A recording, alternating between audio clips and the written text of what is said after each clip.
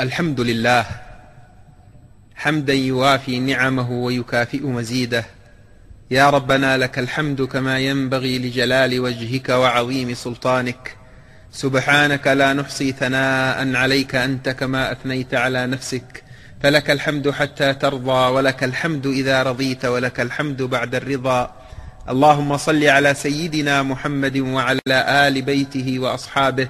وتابعيهم والتابعين لهم بإحسان إلى يوم الدين. في فاتحة هذه المجالس المباركة نتذاكر معا عن المقصود من هذه المجالس. يقول رب العزة سبحانه وتعالى بسم الله الرحمن الرحيم. من كان يريد العاجلة عجلنا له فيها ما نشاء لمن نريد. ثم جعلنا له جهنم يصلاها مذموما مدحورا. ومن ومن أراد الآخرة وسعى لها سعيها وهو مؤمن فأولئك كان سعيهم مشكورا. تأملوا هنا يقول الله سبحانه وتعالى من كان يريد الكلام هنا عن الإرادة. من كان يريد العاجلة. ثم يقول سبحانه وتعالى ومن أراد الآخرة. مصيرنا جميعا في هذا الوجود ارتبط اذا بما نريد. أحوالنا مآلاتنا سعادتنا أو الشقاوة الرضا أو الغضب الفلاح أو الخيبة كلها تتصل بما يريده الواحد منا من هذه الحياة.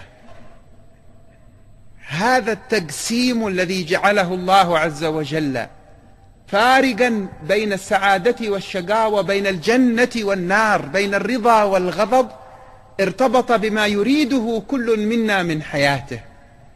وجعل الله سبحانه وتعالى مجرد إرادة الدنيا سببا في حصول الخسران وحصول العذاب والغضب. مجرد إرادة الدنيا. ثم جعل إرادة الآخرة مقرونة بالسعي الذي يترتب على هذه الإرادة. منذ زمن ونحن نسمع الحديث عن إرادة الدنيا الدنيا الدنيا الدنيا أهل الدنيا وأهل الآخرة. ما المقصود بالدنيا التي يتحدث عنها؟ بأن إرادتها من عاش وهو يريد من عيشه الذي يعيشه هنا أن يتحصل فقط على الدنيا. ما هو المقصود بكلمة الدنيا المذمومة؟ هل هي الطعام والشراب واللباس؟ هل هي المركب الذي يركبه أحدنا سيارة أو طيارة المنزل الأثاث المال الذي يحصله هل حصول هذه الأشياء يجعل أحدنا مريدا للدنيا؟ فيكون بذلك متعرضا للغضب. الآخرة ما المقصود من إرادة الآخرة؟ هل المقصود من إرادة الآخرة ألا يكون لنا نصيبا أو صلة بالدنيا قط؟ هذه معان يترتب عليها منهج حياة نعيشه. يترتب عليها شيء يسمى السير إلى الله سبحانه وتعالى. هذه المجالس سيكون حديثنا حول السير إلى الله حول إرادة السير إلى الله حول إرادة الوصول إلى الله حول إرادة نيل رضوان الله حول إرادة الآخرة على حقيقتها. فكل في هذا الوجود مريد. إما أن يكون مريدا للدنيا منقطعا بها لها وإما أن يكون مريدا لله للوصول إلى الله ورضوان الله. حديثنا في هذه المجالس سيكون عن مسلك الإرادة للوصول إلى الله سبحانه وتعالى. قبل أن نستعرض ما سيكون في مجالسنا المقبلة من تسلسل في قرع أبواب التعرف على معنى الوصول إلى الله كيف نصل إلى الله عز وجل؟ كيف ننال رضوانه؟ دعونا نفهم أو نتفهم المقصود من ضد ذلك من الشيء الذي نهانا الله عنه إرادة الدنيا. ما المقصود بإرادة الدنيا؟ التي وصل التحذير منها إلى الحد الذي ينذر الله عز وجل العبد فيه بأنه بمجرد أن يريد الدنيا أن يصبح مريدا للدنيا فهو مذموم. فهو في النار فهو مبعد. ما المقصود هنا بالدنيا؟ يقول العلماء الدنيا هو كل ما وجد على هذه الأرض في هذا العالم مما تتناوله يد الإنسان. وما دام الأمر يتعلق بما يريده الإنسان مما يتعلق بحياته في هذه الأرض فأين وجه الذم أن تتعلق أو يتعلق قلبك بأنك تريد أن تلبس أن تأكل أن تشرب؟ أن تنال سيارة تركبها؟ هذا الأمر. ناله ساداتنا الصحابة بما يتناسب مع زمانهم. ركبوا الدواب وسكنوا البيوت ولبسوا الثياب وأكلوا الطعام. التابعون تابعوا التابعين. أكابر الصالحين والصالحات من الأمة عاشوا هذه الحياة. المقصود بالمذموم من إرادة الدنيا بالخطر في إرادة الدنيا أمران. الأمر الأول تعلق القلب. والأمر الثاني إشغال الجسد بما تعلق به القلب. الأمر الأول تعلق القلب بمعنى أن يعيش الإنسان في هذه الحياة وليس له مقصود ليس له هدف إلا أن يتمتع فقط بهذه الدنيا إلا أن يعيش لها. ثم يترتب على هذا أن وقته جهده فكره ماله الجسد موظف لهذا المقصد. هنا تأتي الإشكالية. ماذا يحتاج الإنسان من هذه الدنيا؟ ما هو الأمر الذي يجعل الإنسان يشغل وقته يشغل فكره يشغل قلبه بهذه الحياة التي يعيشها؟ قالوا حقيقة ما يحتاجه الإنسان طعام يقوى به بدنه على الحياة لباس يستر به عورته يكنه من البرد مسكن يأوي إليه هو ومن معه. حقيقة ما يحتاجه كل إنسان في هذه الدنيا.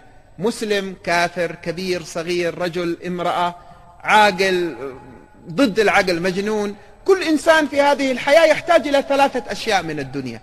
طعام يقوى به على استمرار جسده في الحياة. مأوى يؤوي يضمه.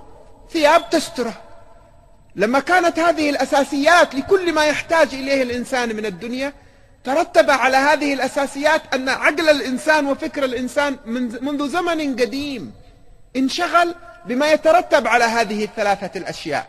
الطعام جعله يفكر في الزراعة جعله يفكر في الصيد في الرعاية رعاية الغنم الماشية.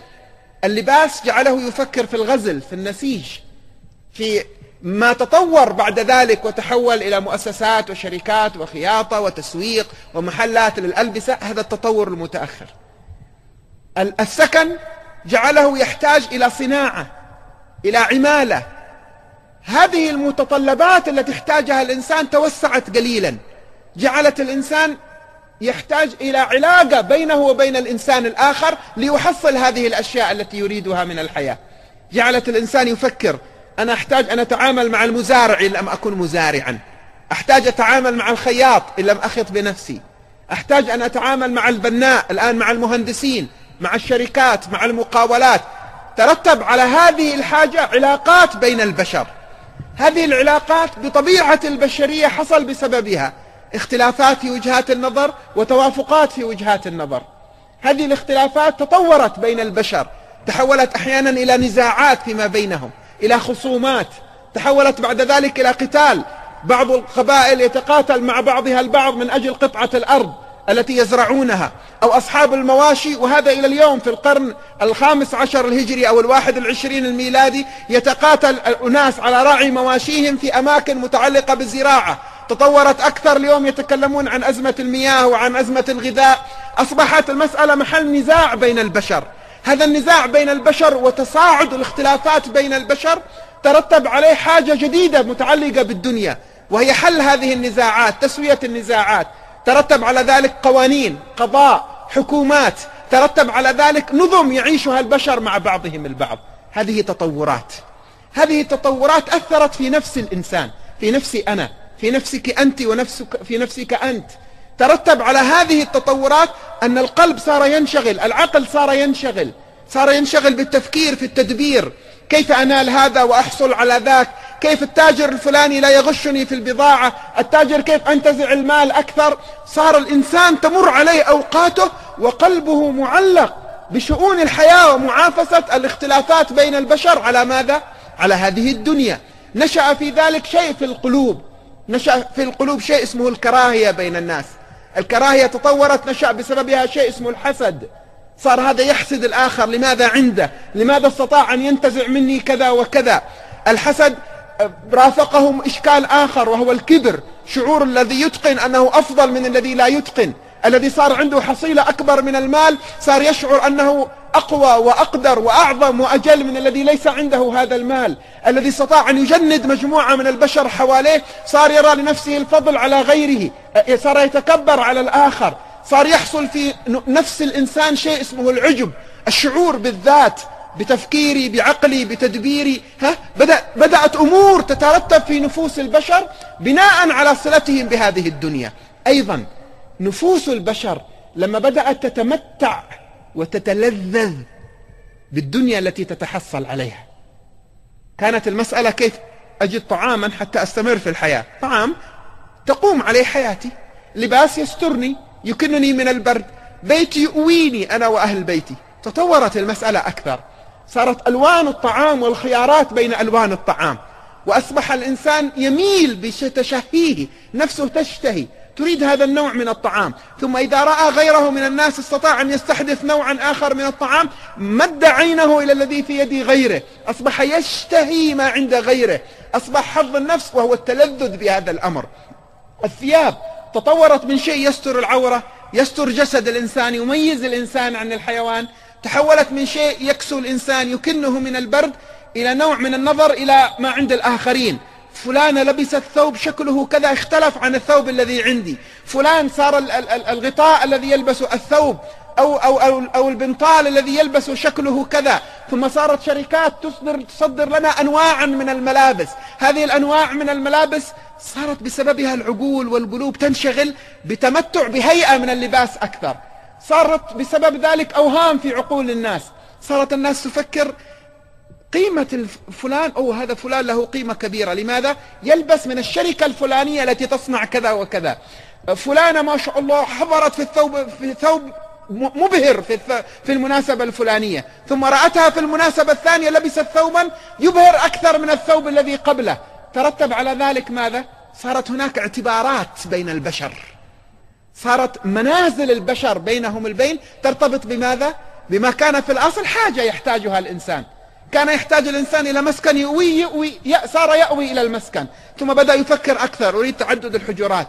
ثم أريد مكان للضيوف. ثم أريد حديقة في داخل منزلي أتنزه إذا نظرت إليها. ثم أريد بركة نغتسل فيها أنا وأولادي نسبح فيها. وبدأت المسألة تتوسع. ثم شكل البيت ومنظر البيت. لا أريد رخام من نوع كذا. ما يسمى اليوم بالديكور أو هيئة البيت. تطورت المسائل وبدأت تؤثر في ماذا؟ في اعتباراتنا نحن كبشر في نفوسنا في تعاملاتنا. الإشكال ليس في الرخام ليس في نوع البيت سواء كان من الطين أو من الحجر أو من الرخام أو من الإسمنت. الإشكال ليس في الثياب لونه أخ... لونها أخضر أو أحمر أو من قماش من صوف كذا أو من قطن كذا أو من شركة كذا. ليس في طعام هذا ألذ أو ذاك ألذ. الإشكال في تفاعلي أنا مع هذا.